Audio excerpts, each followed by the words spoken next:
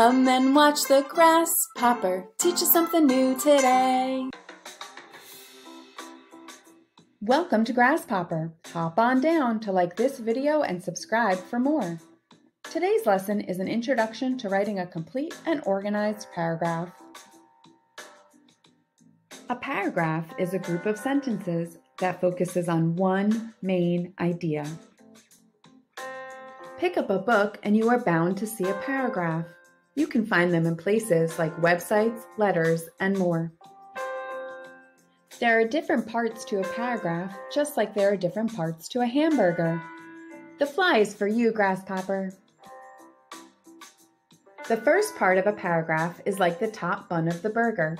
This is where you will write the topic sentence. This sentence introduces what the paragraph will be about. It's time to write a paragraph about grasshoppers. First, I take out my organizer. Hmm, what do I know about grasshoppers? I got it! Grasshoppers eat many different types of food. Now you give it a try.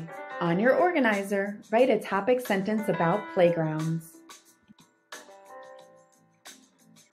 The next part are the supporting details. These are like the lettuce, tomato, and meat parts of the burger. You will write them after the topic sentence. Details are examples that support the main idea of the paragraph. Let's see how this works. I need to describe the different foods that grasshoppers eat. I'll add the details to my organizer. One type of food they eat are leaves. They also like to eat flies. Another type of food they eat is grass. These details support my topic sentence. Now you give it a try. On your organizer, write three supporting details about playgrounds. The last part is the concluding sentence. This is like the bottom bun of the burger. You will write it after the supporting details. The concluding sentence restates the topic sentence. Let's look at the topic sentence. Hmm, how can I restate this?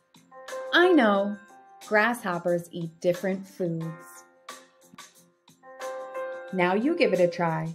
On your organizer, write a concluding sentence about playgrounds. The organizer is finished. Let's use it to write a complete paragraph on our writing paper. Now you give it a try. Don't forget your organizer.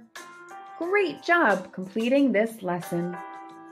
For more, subscribe to our channel and follow GRASPhopper on Teachers Pay Teachers and Instagram.